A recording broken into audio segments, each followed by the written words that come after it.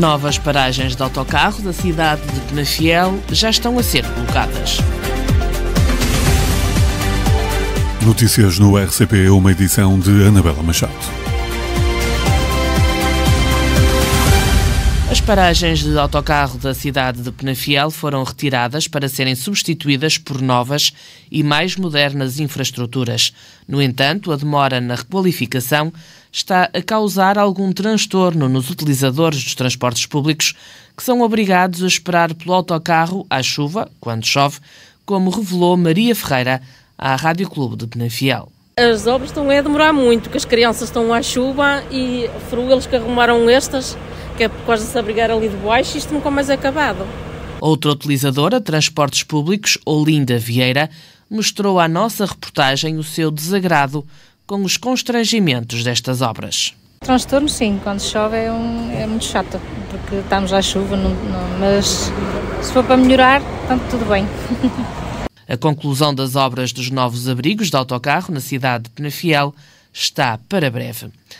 A maioria dos enfermeiros do Hospital Padre Américo, em Penafiel, e do Hospital de Amarante, não tem condições para assumir a segurança dos cuidados prestados e, por isso, pediu escusa de responsabilidade.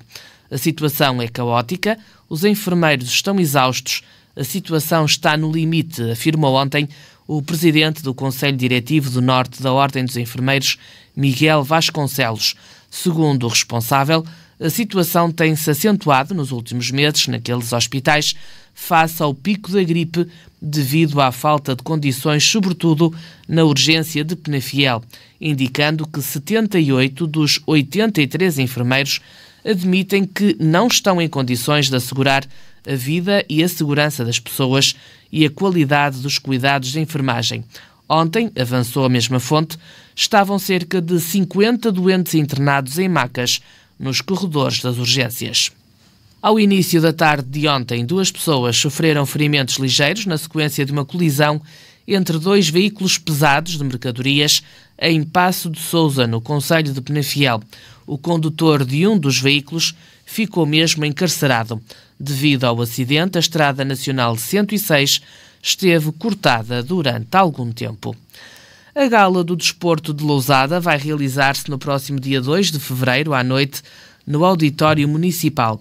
Esta iniciativa pretende distinguir e premiar todos aqueles que, ao longo da sua vida e, em particular, do ano 2023, se destacaram no desenvolvimento do desporto no Conselho.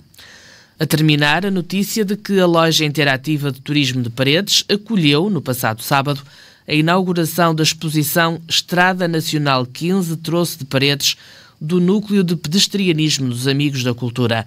Esta mostra vai estar patente até o dia 10 de fevereiro.